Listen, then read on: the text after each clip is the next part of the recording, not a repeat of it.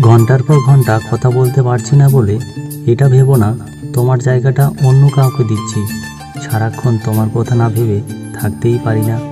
কথা দিচ্ছি, তোমার আছি, তোমারই থাকব।